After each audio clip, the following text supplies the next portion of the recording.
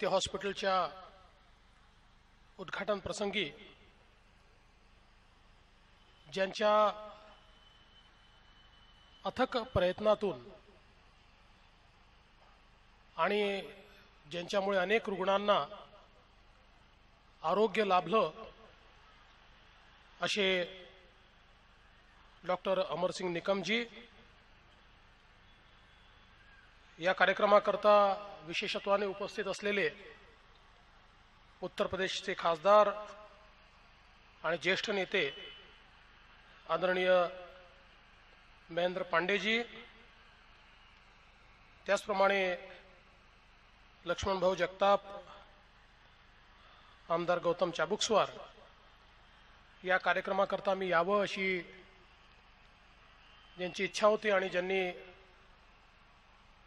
मला आग्रह केला ते माझे मित्र आमदार प्रसाद लाड त्यांच्या पत्नी नीता मंचावर उपस्थित आदरणीय मदन बापनाजी श्रावण हार्डीकर त्याचप्रमाणे मनीष निकम विजय निकम सौ लीलावती निकम सुधाताई निकम श्रीमती सुचित्रा निकम संपूर्ण निकम परिवार इथले लोकप्रिय नगरसेवक सर्व पदाधिकारी आणि उपस्थित सर्व भगिनी आणि बंधूंनो आज खरोखर मला अतिशय आनंद आहे की एका अशा होमिओपॅथच्या दवाखान्याच्या उद्घाटनाची संधी मला मिळाली की ज्यांच्याबद्दल संपूर्ण भारतामध्ये एक मोठा असा परिवार आहे की जो हे सांगतो की डॉक्टर निकम यांच्याकडे आम्ही गेलो आणि आम्हाला निरामय अशा प्रकारचं आयुष्य मिळालं. म्हणजे बघा एकीकडे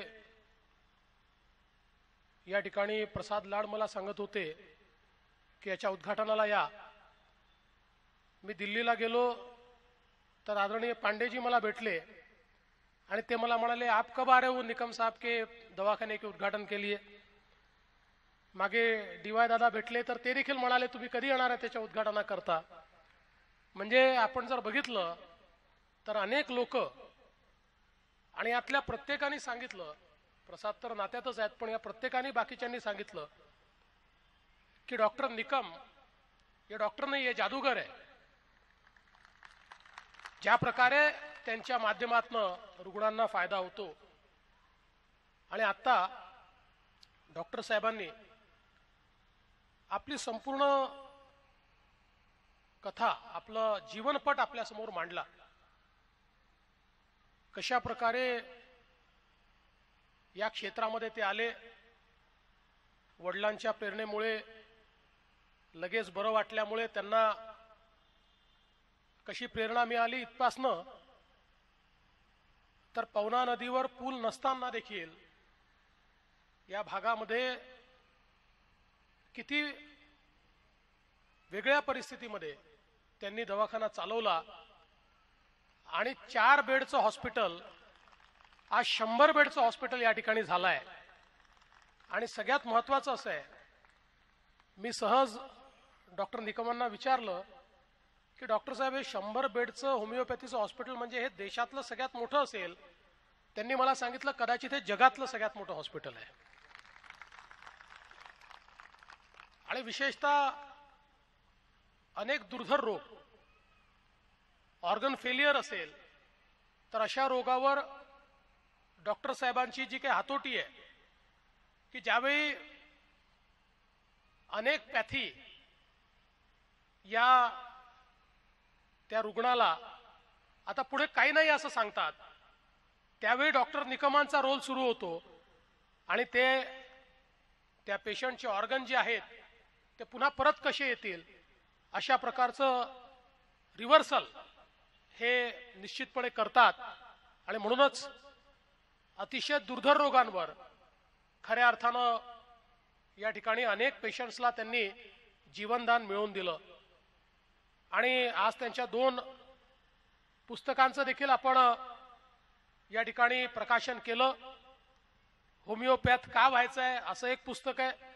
दुसरं पुस्तक हे कार्डिओवेस्क्युलर डिसिजेसवर होमिओपॅथी किती प्रभावी आहे या संदर्भातलं त्यांनी पुस्तक आपल्यासमोर मांडलेलं आहे. आणि त्या माध्यमातनं खऱ्या अर्थानं अल्टरनेट मेडिसिन ही किती महत्वाची आहे हे देखील आपल्याला त्या ठिकाणी पाहायला मिळतं. आज आपण बघितलं तर आयुर्वेद असेल होमिओपॅथी असेल किंवा ॲलोपॅथी असेल या तिन्ही किंवा अजून वेगवेगळ्या प्रकारे युनानी असेल अशा वेगवेगळ्या विधांमध्ये अनेक लोक त्या ठिकाणी प्रॅक्टिस करतात. पण हे जे अल्टरनेट मेडिसिन्स आहेत होमिओपॅथी असेल आयुर्वेद असेल सामान्य माणसाला ज्यावेळी अनेक वेळा अशी परिस्थिती येते की मॉडर्न सायन्सने हात टेकले आहेत. अशावेळी ते लोक या डॉक्टरांकडे येतात आणि अतिशय दुर्धर अशा केसेस ज्यावेळेस हे डॉक्टर पूर्ण करतात त्याचा पाठपुरावा करून त्यांना निरामय करतात त्यातनं खरी या अल्टरनेट पॅथींची ताकद काय आहे ही देखील आपल्याला लक्षात येते.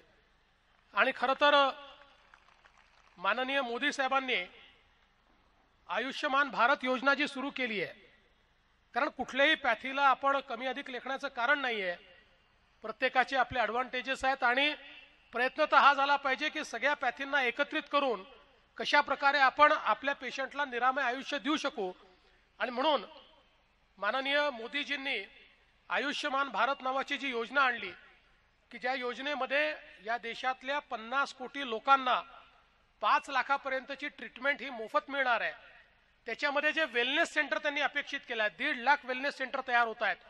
हे दीड लाख वेलनेस सेंटर हे त्या ठिकाणी ॲलोपॅथी असेल होमिओपॅथी असेल आयुर्वेद असेल योगा असेल नॅचरोथेरपी असेल अशा प्रकारच्या सगळ्या पॅथीने युक्त अशा प्रकारचं हे वेलनेस सेंटर तयार झालं पाहिजे आणि त्यातनं प्रत्येकाला निरामय आयुष्य मिळालं पाहिजे अशा प्रकारचा प्रयत्न हा त्या माध्यमातून माननीय मोदी साहेब करतायत. आणि मला विश्वास आहे की डॉक्टर निकमांसारखे निष्णात अशा प्रकारचे डॉक्टर्स या ठिकाणी असताना निश्चित त्यांचं मार्गदर्शन याकरता देखील आपल्याला मिळेल.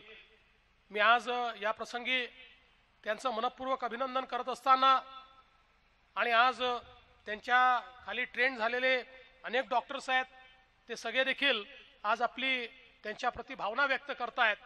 आणि मला असं वाटतं की आज आपण डॉक्टरांना ही शुभेच्छा देऊया की तुम्ही सगळ्यांना निरामय करता. त्यामुळे तुम्हाला शंभर वर्ष निरामय आयुष्य या ठिकाणी लाभावं आणि तुमच्या माध्यमातनं सामान्य जे पेशंट्स आहेत यांची सेवा होत आणि अतिशय दुर्धर असा रोगी तुमच्याकडे आला. कारण आपल्याला माहिती आहे की आपण दुकानाच्या उद्घाटनाला गेलो तर म्हणता येतं की खूप भरभराटी हो तुमचा धंदा चांगला हो. पण हॉस्पिटलच्या उद्घाटनाला असं म्हणता येत नाही की तुमचा धंदा चांगला हो. आणि म्हणून हॉस्पिटलच्या उद्घाटनाला गेल्यानंतर एवढंच म्हणावं लागतं की तुमच्याकडे आलेला प्रत्येक पेशंट हा बरा होऊन गेला पाहिजे निरामय होऊन गेला पाहिजे उत्तम आयुष्य घेऊन गेला पाहिजे. आणि अशा प्रकारचा आशीर्वाद हा तुम्हाला मिळावा अशी ईश्वरचरणी प्रार्थना करून पुन्हा एकदा तुमचं अतिशय डॉक्टर साहेब मनपूर्वक अभिनंदन करतो पूर्ण परिवाराचं मनपूर्वक अभिनंदन करतो आणि माझं बोलणं संपवतो. जय हिंद जय महाराष्ट्र.